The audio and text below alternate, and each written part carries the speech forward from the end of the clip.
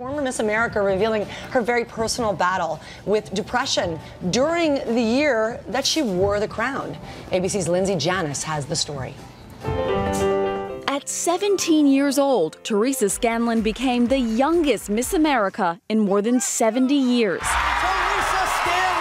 Now, two years later, the pianist and singer is speaking out about the pressures she says drove her to contemplate suicide. People just completely tearing me down and ripping me to shreds uh, every day. To some, I was too conservative, to some, I was too liberal. Uh, to some people, they say I'm too pretty, others say I'm too ugly. Scanlan says a year of public criticism and nonstop engagements pushed her into a deep depression. I was hiking the Scotts Bluff National Monument growing up. It was always my favorite place, but uh, this time was, was different. I was just falling apart and um, very strongly contemplating um, jumping off the top.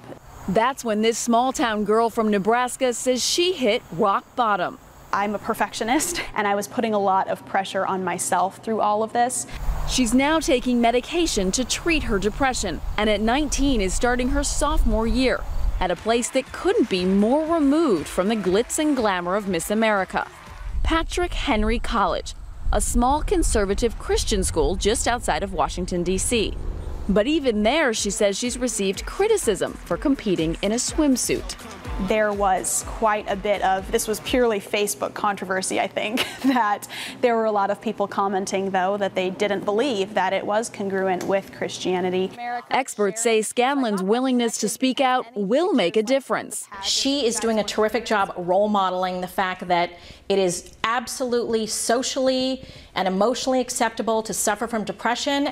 That's not something to be ashamed or embarrassed about, but rather to understand you can make it through and there's there's hope on the other side and to to never give up.